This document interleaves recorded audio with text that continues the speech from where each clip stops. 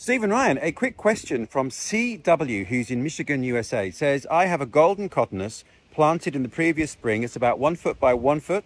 Yep. Put on a lot of growth. This summer they were expecting to see plumes, but nothing. Do these plants have to reach a certain height and maturity to flower?